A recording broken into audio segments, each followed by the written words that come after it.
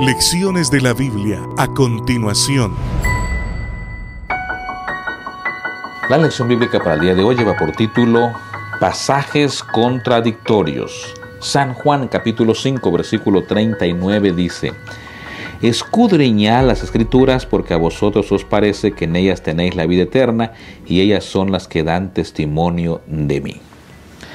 Esta última semana hemos estado viendo versículos que a primera lectura parece que afirman, por ejemplo, el tema de la inmortalidad del alma. Y son eh, textos que deben estudiarse, por supuesto, con mayor atención para saber es exactamente lo que están diciendo o no. Por ejemplo, vimos el caso de Lázaro ¿se recuerda? ¿Verdad?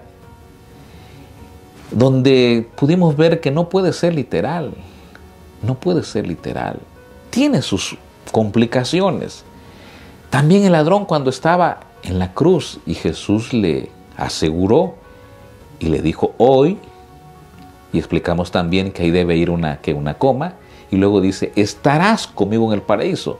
No era que en ese momento él estaba diciendo, tú mueres, yo muero, y los dos vamos al paraíso. No, porque el mismo Jesús dijo, aún no he subido a mi Padre después de la resurrección, cuando se le aparece a una mujer.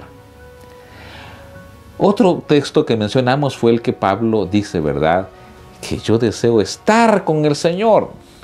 ¿Cuánto me agradaría estar con el Señor y no estar acá con ustedes vivo. Pero luego dice Pablo, pero estar vivo es necesario por la predicación del Evangelio. Lo que Pablo estaba expresando era el deseo de, pues, estar con el Señor.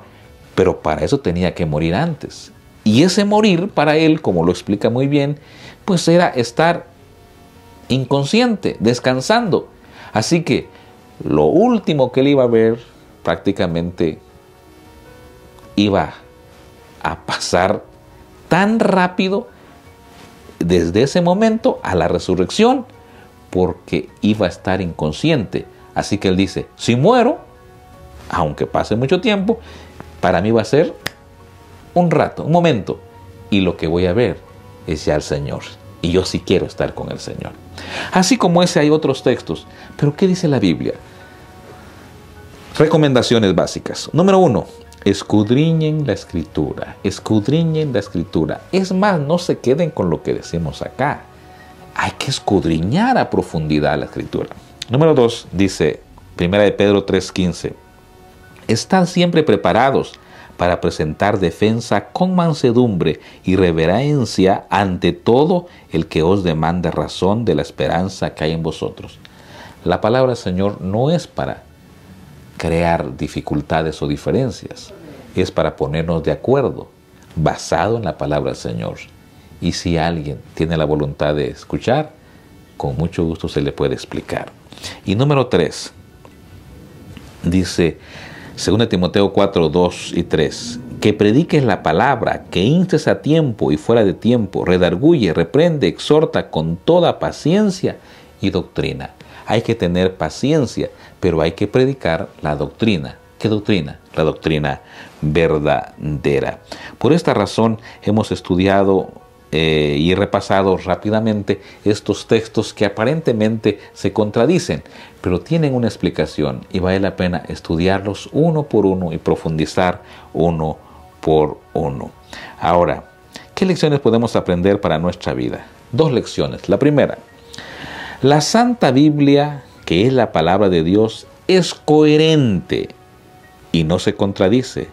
Solo debemos pedir al Espíritu Santo que nos conduzca a toda la verdad. Y número dos, la Biblia dice que los que estamos vivos sabemos que hemos de morir. Los muertos nada saben. Es ahora en vida que debemos aceptar a Jesús como nuestro único y suficiente Salvador. Que Dios te bendiga. Soy Robert. Recuerda, hoy es el día de tu salvación.